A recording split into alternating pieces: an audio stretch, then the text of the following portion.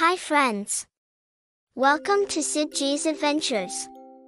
Let's learn about ocean invertebrates that are a type of ocean animals. A. For anemone. Anemones are like the colorful flowers of the sea. They're stationary creatures that sway with the ocean's rhythm.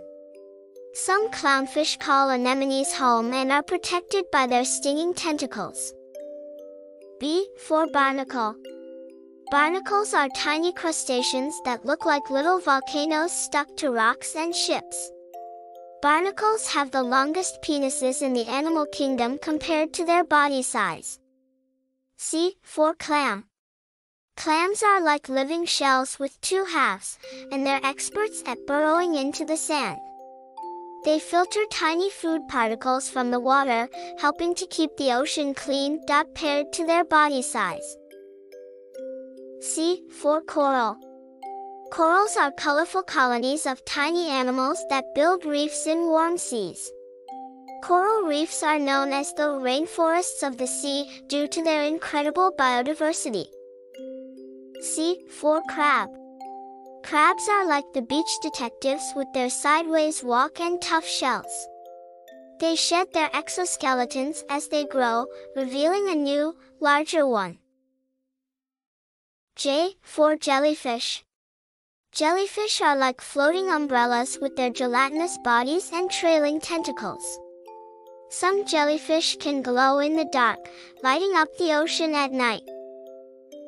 L. For lobster. Lobsters are the ocean's rock stars with their strong claws and vibrant colors. They can regenerate lost limbs, which is handy in a pinch. O. For octopus. Octopuses are the shapeshifters of the sea, with soft, boneless bodies and incredible intelligence. They can blend into their surroundings by changing colors and textures. S. For sea cucumber. Sea cucumbers are like squishy pickles that crawl along the ocean floor. They can expel their internal organs as a defense mechanism and later regenerate them. S. For sea urchin. Sea urchins are spiky balls of the sea, covered in sharp spines. They use their tube feet to move and graze on algae. S. For seashell. Seashells are like nature's treasures, beautiful and unique, and often found along the shore. Some shells are made by the animal that lived inside, like snails or clams. S. For sponge.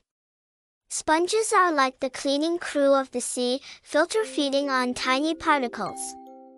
They can be as simple as single cells or as complex as branching structures. S. For starfish. Starfish are like the ocean's stars, with their iconic five arms and vibrant colors. They can regenerate lost arms, making them masters of regrowth. T. For tunicate.